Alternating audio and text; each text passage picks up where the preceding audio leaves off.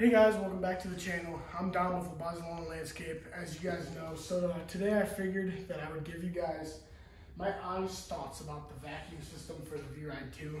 Um, I know I said in the review video for this mower, if you haven't seen the review video for this mower yet, go check it out and you'll kind of see where I'm coming from in a lot of points of this. But yeah, so I figured I would tell you guys what I think about this and you guys what you should think if you're gonna buy one of these what you want to kind of look into and what you want to think about it.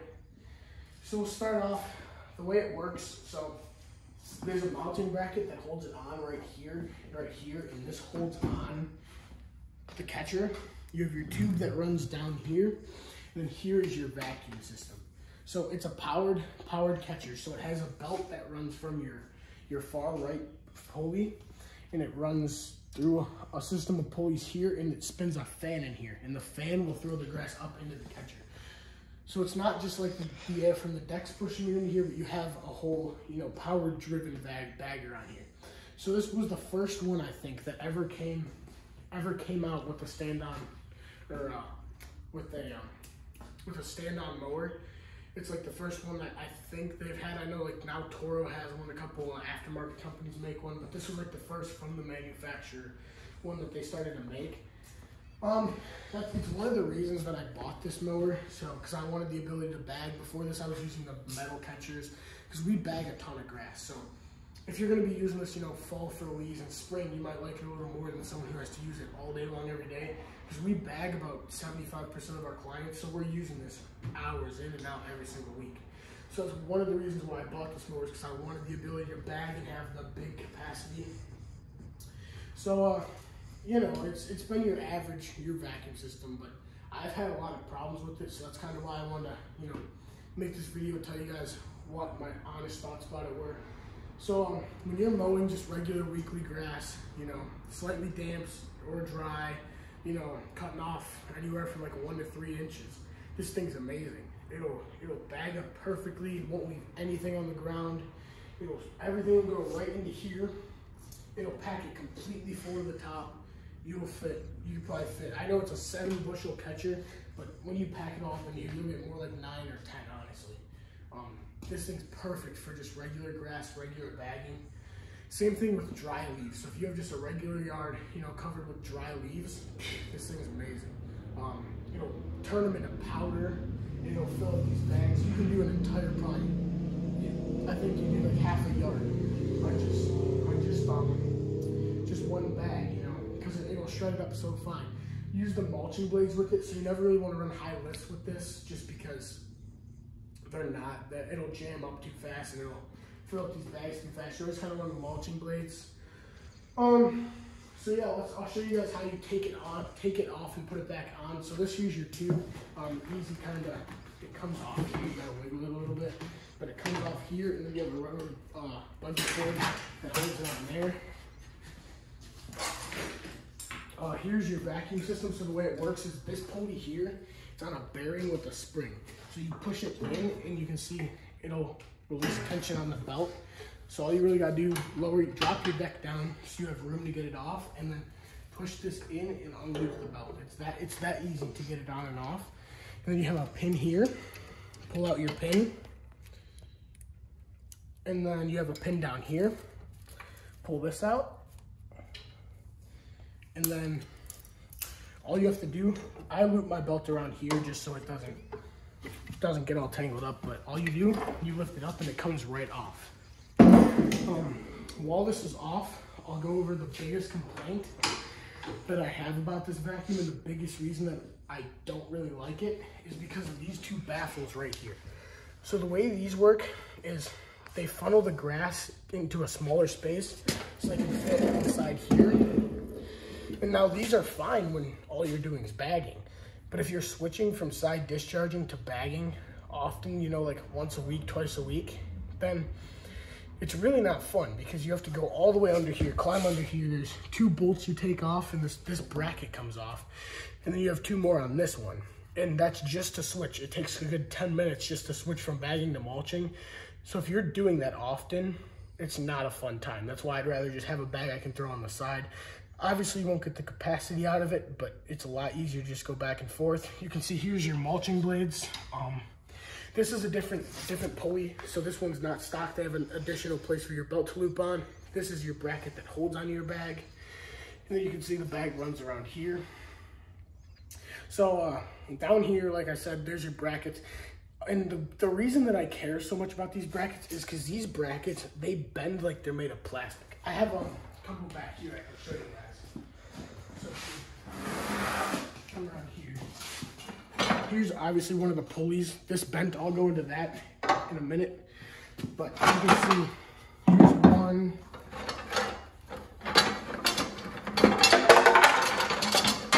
Here's another one of them. So you can see the way that these work is they bolt on here and then they have these. This connects to the front of the deck, but you can see just how like wobbly this is. And like this one, because this will, when you're backing out of the trailer, this sticks down a little bit from your actual vacuum. So your vacuum sits about right here and this sticks down and this will catch on anything that you go over. So you make like a too sharp turn, it'll rip into the ground. There's bumps in the ground, it'll catch. Going down curbs and up curbs, it'll catch. Backing on and off the trailer, it catches, and it just rips these to shreds. Like you can see this one's really bad. Um, which it's fine when I'm doing it because I'm conscious of it and like I know what's going on and like I can kind of, I can judge so this doesn't happen but I have guys who run my equipment for me, so it's like they they're not really like they don't care. Let's be honest, to not break these. And I think these are like they're fifty or sixty dollars a piece, and we went through like eight or nine of them this summer. So you know, thing to watch out for if you're gonna buy one of these. We'll go into the story with this pulley here. So if we come around here, you can see We've got this pulley down here, which I talked about as an aftermarket pulley.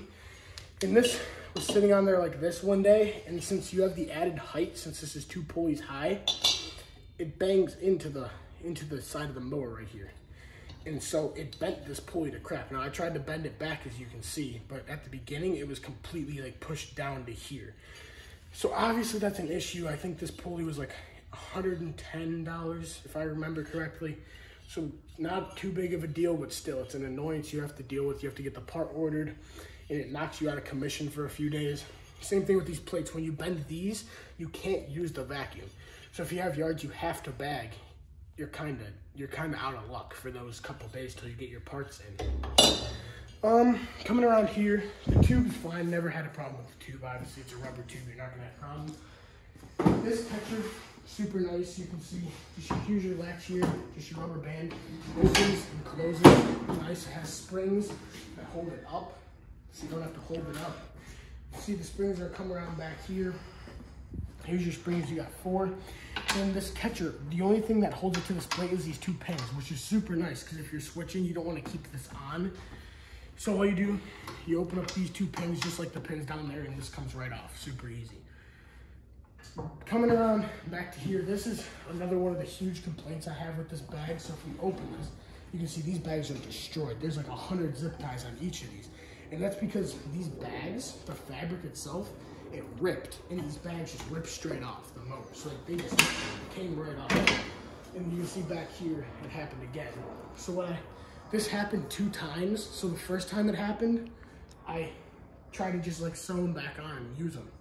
Then it happened again, and I was like, you know what, screw this. So I put on a ton of zip ties and I put on some hose clamps, and they're holding up. These bags have to be some like the worst quality I've ever seen. Like the material is nice, but the whatever they do to hold them on, I think it's like stitched. It does not hold up. And this was just regular weekly use, you know, not even like chucking it on the ground hard or throwing it anywhere, but just regular use. They broke and they ripped and again, the bag was, until I could fix it, the bag was out of commission for a couple days. So just, it's it's the inconveniences you don't expect to deal with when you're buying a, I think this bag was like $2,700 total. So when you're spending that much on a bag, these are just kind of things you don't want to don't want to have to deal with. Um, but these bags, when they were working, they're super easy to just put on and off. There's a series of you got two for each bag, but the metal comes up and then it just clips on just like that. These bags will fill up super tall, super nice. Uh, stays closed, never really had any problems with it coming open. You can leave this system on if you would like to. So you don't have to take this whole thing off to side discharge if you don't want. I do just because you can get in tighter areas. And then I know, we can here, I'll slap this back on for you to see, but let's say this here is 60 pounds, so it's not necessarily light, but it's not terrible. This goes back on super easy, like you can see. Um, belt just kind of outruns around here, and lower your deck. It's the same same thing to put it on, just loops around, you tighten it. Uh, the belt looping around here, it's all twisted up, so it kind of, it shreds belts. I'd say we went through about one every month and a half to two months, just because of the way it's all like twisted up in here, but that's normal. I talked to my guy at the dealer, and he said that that's just kind of because it's all like twisted up in here and tight. Um, that's kind of the same as any vacuum.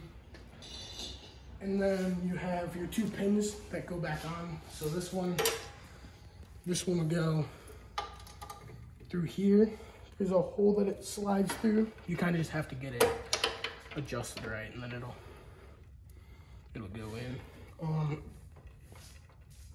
somehow, yeah, whatever. I'll deal with it in a little bit, but this one goes down here. And then your tube. This one goes down here straps on and then it slides on here. So it's super easy to take on and off. Only takes, like I said, about 10 minutes, baffles and everything. So if you want to switch, it's not horrible. It's just thought you have to do it. And then one of the biggest questions that I had when buying this is how far does it really stick out from the mower? So because I, I know I couldn't find anything online. There's no one who shows how far out the sticks. And for people like me, it's a big deal because we're going through gates and we're going through in trailers. Like my trailer is seven feet wide. So I wanted to make sure that this would fit and I wouldn't have to take it out off every time to go in the trailer. So down here you can see from the edge of the deck, it only sticks out, I'd say about eight inches. So this is a 48. If you had a 52, you could still put it on a five foot wide trailer, would be really tight. Anything bigger than that, you need a six. Um, so if you have a six foot wide open trailer, this will definitely fit on a 48, even a 61, you could fit it because it only adds about eight inches. This, uh, the fan itself is about six inches wide, and then this adds about an inch and a half. So overall about seven and a half. We'll go with eight just to give you some room. Uh, if you come up here, you can see, so the catcher itself, it adds about, if it comes back here, I'd say it adds about two feet off the side of the mower.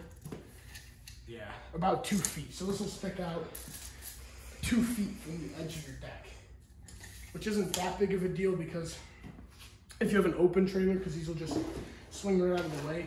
But if you have an enclosed, you want to make sure that you're going to need a seven and a, a seven foot or an eight and a half wide. You couldn't use a six foot or five foot wide enclosed for this because like I said, it'll stick out about two feet, and then if you come back here, it sticks about 32 inches or so off the back. So again, lengthwise, I think the mower is probably six feet, so you add another two and a half feet or so onto that, and you're about eight and a half, nine feet. So if you're gonna be transporting this a lot, make sure that it'll fit in your trailer. Like I said, I didn't see a lot of stuff online about this, and I looked. So I wanted to kind of put it out there, how much, how big and how, how much this actually sticks off and how, what you have to deal with. So yeah, overall, like I said, I like this. Using it day in and day out in the summer, it's super nice. Besides the few issues that I had with it, which the bags, there's no excuse for this. It's just lousy stitching or whatever. But the, the plates under there, that's our own fault. You know, we hit it on stuff, we bent it. So it's kind of our fault, just kind of a sad design, but like I said, if you know to watch out for that and you're the one running your mower, it's not a big deal. You won't go through as many as we did. Um, so that's just something to watch out for. But overall, I like this mower a lot, or this bagger a lot. It's super nice, like I said, in weekly growth, no more grass when you're cutting, no complaints. It'll bag, it'll it'll do what you think it'll do. So then leaves, it'll do leaves, wet leaves. I'll just go a little bit slower. I never really had it jam up. I only had it jam up if you're trying to cut like foot tall grass, then it'll jam up a little bit.